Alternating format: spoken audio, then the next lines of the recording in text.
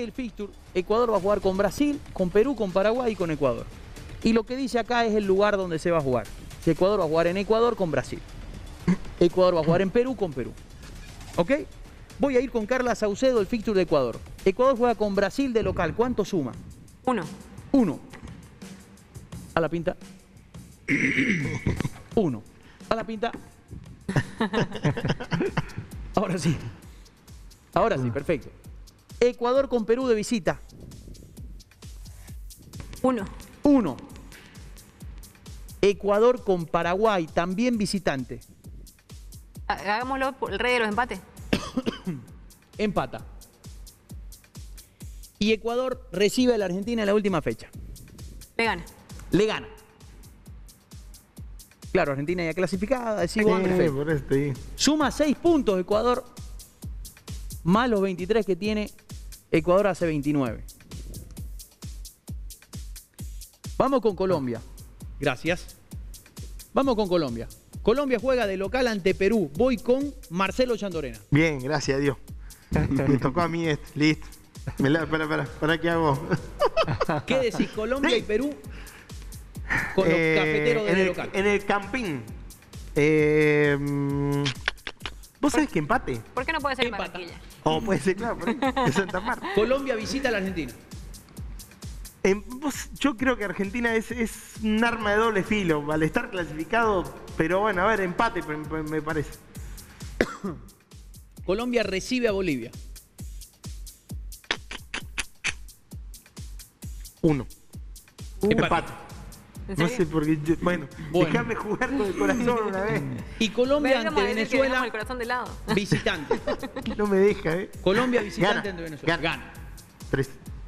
El mismo resultado que Ecuador, 6 puntos, llega a 23 Colombia. Vamos con Perú. Rubén Tufiño. Olvídate lo que dijimos acá, puede no tener lógica. Claro. ¿Sí? Vos me decís Perú, ¿qué va a pasar con Perú? Perú y Colombia. Gana Colombia, Gana Colombia, entonces Perú. juega en. Colombia. Perú ante Ecuador de local. Empate. Empata. Perú ante Uruguay de visitante Perú. Gana Uruguay. Y Perú de local ante Chile. Ante Paraguay. Oh, perdón, ante Paraguay, perdón, perdón, ante Paraguay. Eh, Perú de local gana. Tres Perú hace cuatro puntos. Perú, según los cálculos de Rubén Tufiño, llega a 21 puntos. Vamos con Chile, profe Carlos Aragonés. Sí. Chile recibe a la Argentina. Empate. Empatan. Chile visita a Bolivia. Cero. Gana Bolivia. Chile visita a Brasil. Brasil clasificado, pero de local, ¿no? Cero. Cero, gana Brasil. Y Chile local ante Uruguay. Chile. Chile. Quiere decir que Chile hace cuatro puntos, llega a 20. Vamos con Uruguay. ¿Me lo dejan a mí Uruguay? Dale. Vamos Dale. con Uruguay. Uruguay visita a Paraguay. A Paraguay no le gana a nadie. Un punto. Uruguay local ante Venezuela. Para mí gana Uruguay.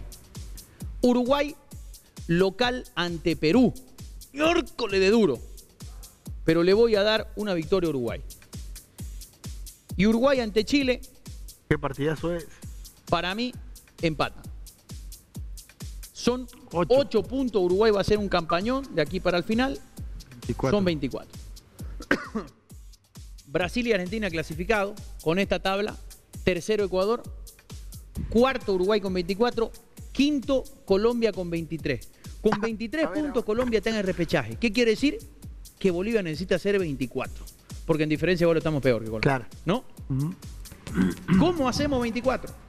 Ahí la Simple matemática. pregunta. Tenemos 15, hay que sumar 9. No hay más.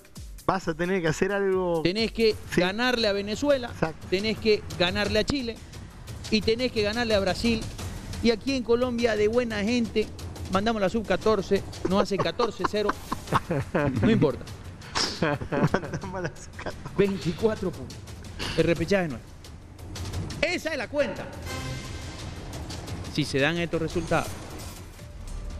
Ojo que los- al, no, al no ser el mismo tampoco son los puntos coherentes, ¿no? Al no ser el Correcto. mismo resultado es de decir, arriba abajo. acá Algunos- hemos dicho que Colombia empate y aquí hemos dicho que Colombia gana. es Por decir, eso te digo, Claro. no, Pero mirá, si querés, aquí le ponemos uno y este va a llegar a 22.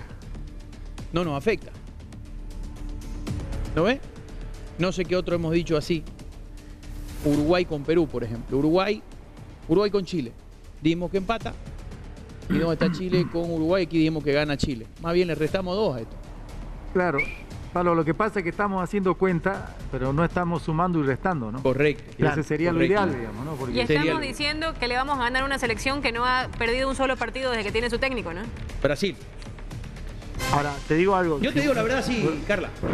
Si nosotros ganamos estos dos, a Brasil, aunque ya le pegamos, pues ya en la última, y ya está clasificado.